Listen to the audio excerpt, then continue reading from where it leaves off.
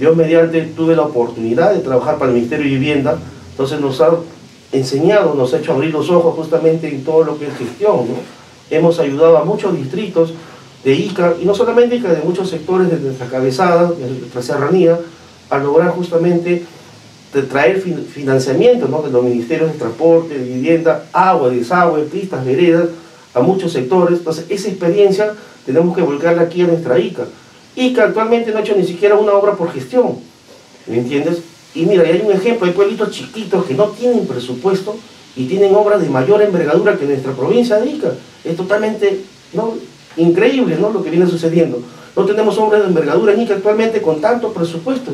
Hay muchas veces no gastamos todo, como que si no faltase nada o no hubiese nada que hacer en nuestra Ica. Y eso tenemos que revertir y vamos a cambiar.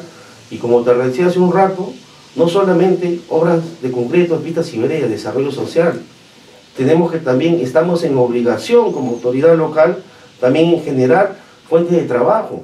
Vamos a hacer empresas municipales, pero con carácter privado, con régimen privado. La 728 nos permite, la ley sí nos permite invertir justamente en hacer infraestructura, en, dar todo, todo ya prácticamente listo a estas empresas para que solitos se puedan encaminar y sostener. Pero tenemos que invertir en ello justamente con todos estos presupuestos que vamos a dejar de invertir en ICA porque todo se va a hacer con gestión para hacer justamente más temas de desarrollo social, generar fuente de trabajo, empresas municipales en dos líneas principalmente.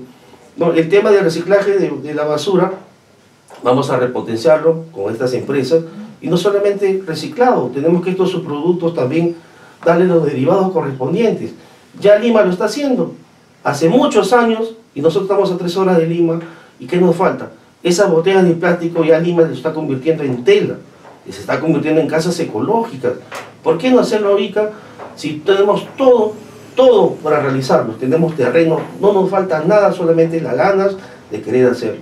Y también los, nuestros amigos agricultores que no reciben un incentivo, un apoyo de parte de las autoridades de turno, ¿no? Es increíble, tenemos muchas amistades, muchos amigos en la campiña y en la temporada de mango, tú caminas por los campos, pateas los mangos, ya no les resulta rentable recolectar los mangos y llevarlos al mercado. Económicamente no es rentable, ya prefieren que estén botados y da mucha pena una fruta bandera de nuestra provincia que se queda así. Encima viene Senasa y los hace enterrar por el tema de la mosca. ¿no? Entonces nosotros ya hemos pensado en ello, vamos también mediante las empresas municipales, vamos a crear los CITE Mangos. CITE Mangos, que es el Centro de Innovaciones Tecnológicas, donde vamos a trabajar, a hacer los derivados de los mangos. ¿Por qué no hacer una conserva de mango? ¿Por qué no hacer los chifres de mango? y generamos empleo y estamos seguros que de acá a unos años nuestros, los jóvenes, ¿no? los hijos, los nietos nuestros agricultores, que en estos momentos no tienen ningún interés en, estos campos, van a buscar más terrenos para sembrar más mangos, porque así va a ser, porque así también recuerden que se creó los, los CITEBIT, ¿no? y se ha repotenciado el, el tema vitivinícola en toda la provincia. Igual vamos a trabajar con los mangos para iniciar, y hay mucho más que hacer en ICA, hay muchos productos más que derivar, pero comencemos por estos dos temas principales. Una, especie de proyecto piloto, ¿no?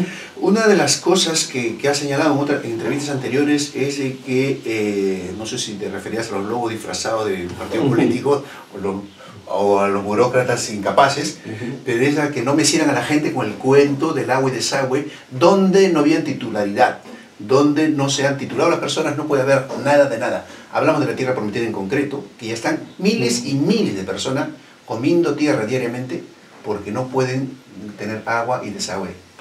Esto es totalmente inconcebible ver gente justamente que, que vaya a herir susceptibilidades de nuestros vecinos de Ica. Salieron una ley el año anterior en, el tema complementario con el SAL, ¿no? el ex congresista que ahora es candidato nuevamente, ¿no? Salió, eso fue el abanderado de esta ley donde ya por, por fin agua y desagüe para tierra prometida no, y totalmente esto ha sido un engaño, muchachos, hay que ser claro en decirlo. No puede venir a engañar a la población. Mira qué tiempo pasado y actualmente siguen ahí. ¿no? Si bien es cierto, ¿no? como te, repito, he trabajado en el Ministerio de Vivienda y sabemos, si bien es cierto la ley de presupuesto, tú llevas un proyecto ¿no?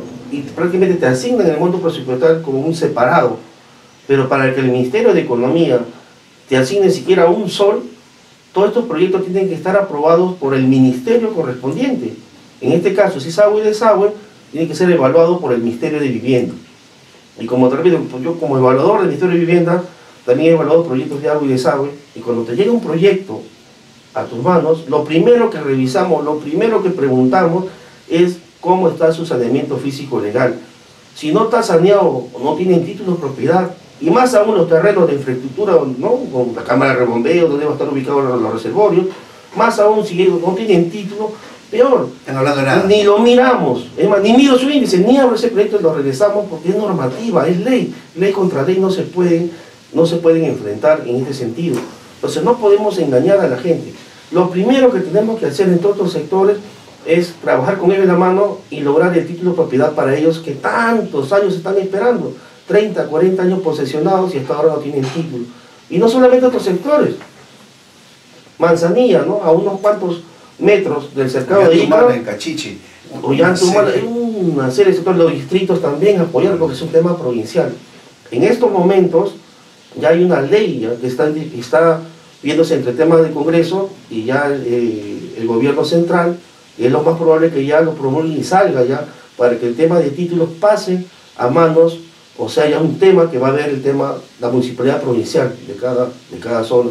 Entonces, de esto de ser así, con mucha más razón, vamos a ayudar a todos estos sectores al ansiado título que tantos años esperaban. Y, no ser, y de, no ser así, ya tenemos clave el planteamiento técnico, que vamos a crear la gerencia de, justamente para apoyarlo, ¿no? la, la gerencia donde vamos a dar el soporte técnico, el soporte legal, justamente para formalizar todos estos predios.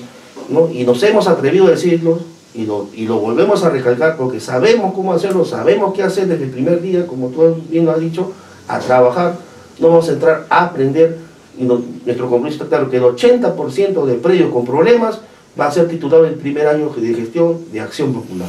Muchas gracias Milton, mucha suerte en esto, seguimos gracias, Muchas gracias a ti, amigo Caldas, muchas gracias por esta oportunidad, esta entrevista, de poder dirigirme a todos nuestros vecinos de Ica que lo entendemos, están cansados ya de lo mismo, están cansados de estos mismos rostros, ¿no?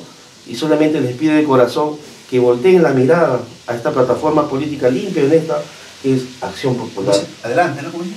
Como siempre decía don Fernando Belaúnde, ¿no? En la campaña del 79, antes una, una campaña austera como la que estamos haciendo nosotros, ¿no? Sin, millones sin, sin matones, sin millones y sin ladrones, ¿no? y me despido como siempre, ¿no? Adelante.